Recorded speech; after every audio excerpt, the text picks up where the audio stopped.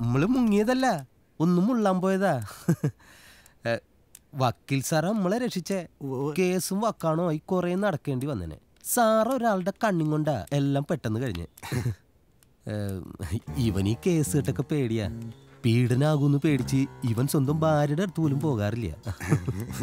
ഞാൻ ആന്റപ്പനോട് പറയായിരുന്നു ഇനി എന്ത് കേസ് വന്നാലും നമ്മുടെ സത്യസാറ് മതി ഫീസിന്റെ കാര്യത്തിലൊക്കെ സാർ അഡ്ജസ്റ്റ് ചെയ്യും. സാർ സാറ് നമ്മുടെ സ്വന്തം ആളല്ലേ ഇഷ്ട. ഇങ്ങോട്ട് നോക്കിയേ. ഇപ്പൊ തന്നെ ഈ കേസിൽ സാറിന് വൺ സി ആർ ആണ് ഫീസ്. പക്ഷെ എന്റെ കയ്യിൽ നിന്ന് അൻപത് ലക്ഷം വാങ്ങും. ഏ?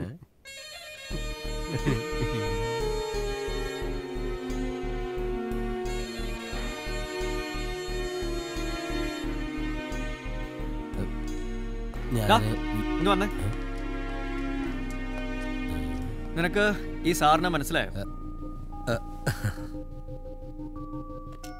കുര്യൻ ജോസ് നമ്മുടെ ക്ലയന്റാ കണിമംഗലം പീഡന കേസിലെ പ്രതി. മോളുടെ പ്രായമുള്ള പെങ്കൊച്ചായിരുന്നു കഥയിലെ നായിക. എന്തിനാ സാറേ അതൊക്കെ ഇവിടെ പറയണേ? ചെക്കൻ കുരിയച്ചന്റെ റേഞ്ച് ഒന്ന് അറിയട്ടെ? കള്ളസാക്ഷി പറയാൻ ആലക്സ് ഇല്ലായിരുന്നെങ്കിൽ അകത്ത് കിടന്ന് ഗോതമ്പുണ്ട തിന്നണ്ട ആളാ. ഇപ്പൊ ഇരിക്കുന്ന ഇരിപ്പ് കണ്ടില്ലേ? ഡാ നീ ചായ എടു.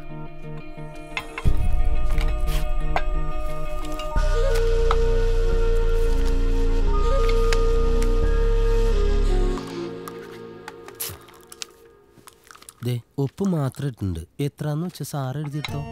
ഈ കേസിന് വേണ്ടി ഞാൻ ഉടനേക്കാൾ സാറ് ഓടിയിട്ടുണ്ട്.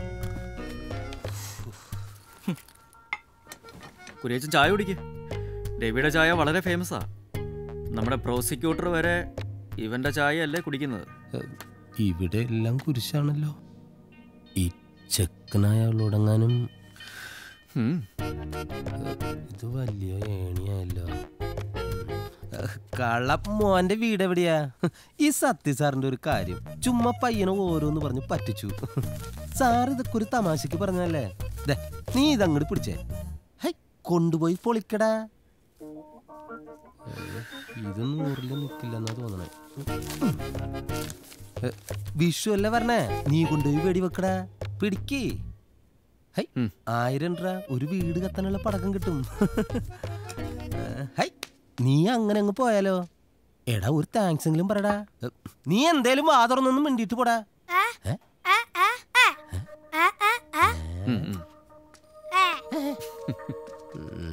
ശരിക്കും തന്നല്ലേ? എന്നാ കുരിയച്ചൻ വിട്ടോ? ഇനിയും കാണാം. എന്തിനാ? ഞാൻ പീഡനം നിർത്തി. നീ വരുന്നുണ്ടോ? എന്നാ കിടത്തണ്ടി പോട്ടെ. സാറേ.